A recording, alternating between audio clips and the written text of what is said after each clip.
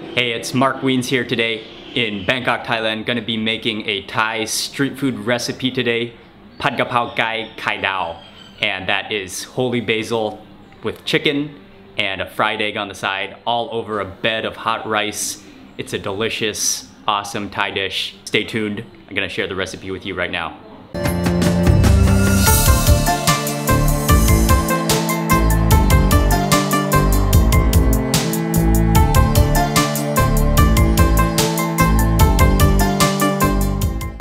Fry the eggs first so they're all ready to go. Put my, put my pan over. Uh, Thai eggs are actually not just fried eggs, but they're deep fried eggs. So you do use quite a bit of oil. You wanna make sure the oil is very hot uh, before you put in the egg. Actually, you don't wanna flip the egg, so what you wanna do is just grab some of the oil and keep like putting it over the over the egg.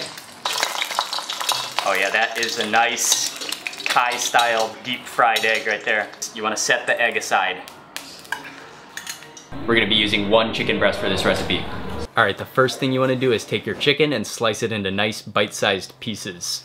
Chicken aside, we're now gonna cut up the chilies and garlic and I'm going to put, I think about, how about about four four chilies, but of course you can use as many chilies or as little as you like. The normal Thai Thai chilies. Garlic, again, you can use as many or as little as you like, but I am again a garlic fanatic. I think we're gonna go with four cloves. Now, I think the easiest way to cut garlic is to first slice off both of the ends of the clove and then give it a quick smash with the side of your knife.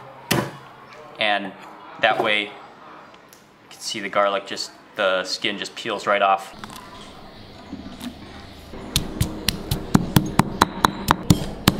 You don't need to get it too fine. You just want to kind of bring out those oils of the garlic and chilies. So that should just about be good right there. Final preparation, gonna take the holy basil leaves off the stalk and you just kind of pluck the leaf, get a good bunch of holy basil because that is the awesome flavor of this entire dish.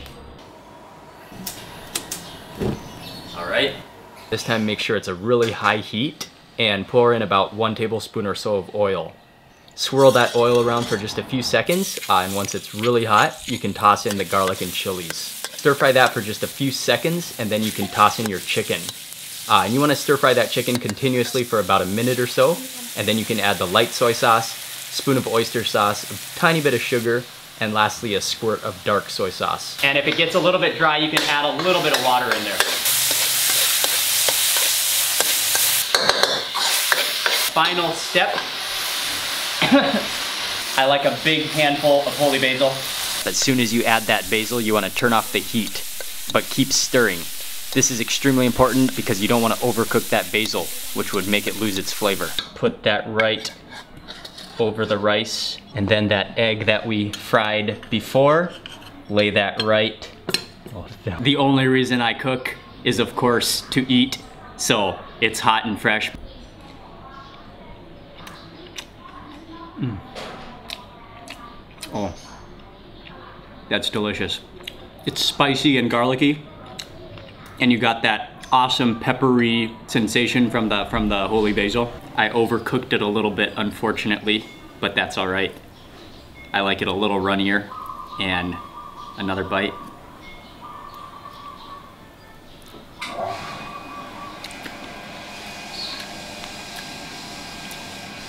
That extra creaminess from the egg yolk, yeah, that's where it's at right there. That is, mm. All right, thank you so much for watching. Hope you enjoyed this quick recipe and be sure to leave a comment below and also give it a quick thumbs up and happy cooking.